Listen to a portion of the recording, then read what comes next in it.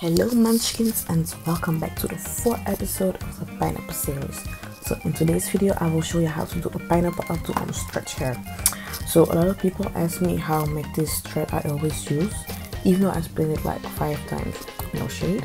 But for this thing you only need some all stockings and scissors. Uh, just cut off the leg part and cut off the toe part. Stretch it out a little bit and voila.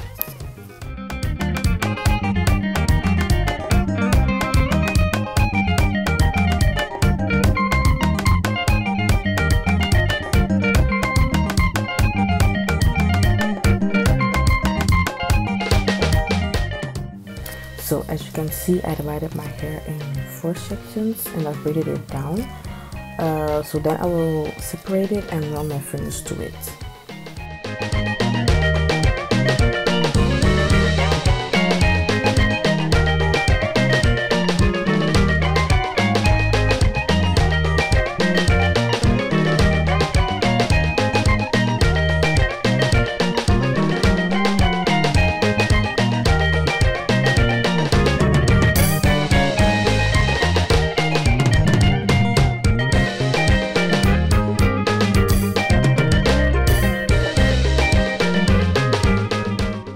So for this step you will need to be careful, don't put it too tight. But I got time to use CPR.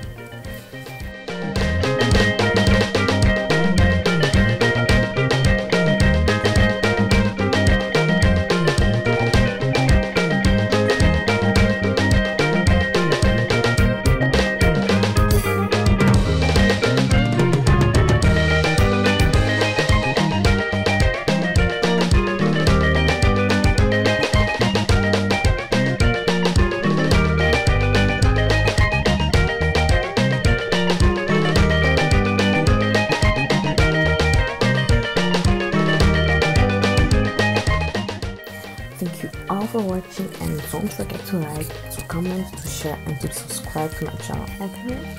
Okay. See you next time and be blessed.